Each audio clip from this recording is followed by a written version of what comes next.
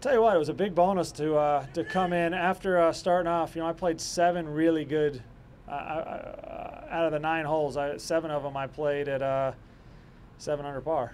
Um, you know, I, I three set or those those sets of nine holes, uh, I'd probably stacked up against anyone in the field. It was the going out third round on the front nine, shooting six over that that, that bit me in the rear end. So.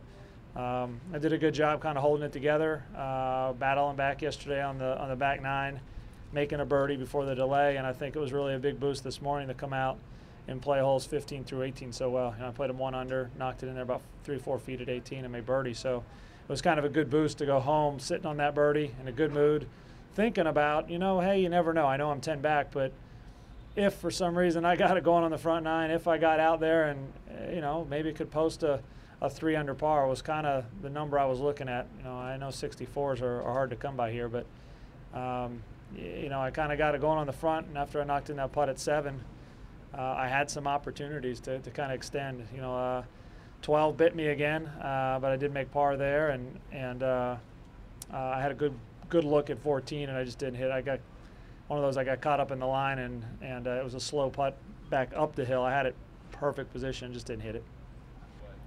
Uh, it was fun. I had a great walk to uh, 18 as well. Fans uh, on both sides of the tee were excited. It was great to watch that putt go in, and and uh, you know I had a I had a ton of support this week from uh, my birthplace, West Chester. I heard a lot. I heard Lancaster, where I grew up. I heard Manheim Township, where I went to high school, and then I heard all kinds of stuff from Western PA here. My dad was pro in Uniontown.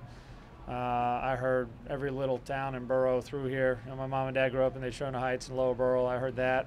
I heard their high schools being called out. Um, it was, uh, I had a lot of places claiming me. It was a lot of fun.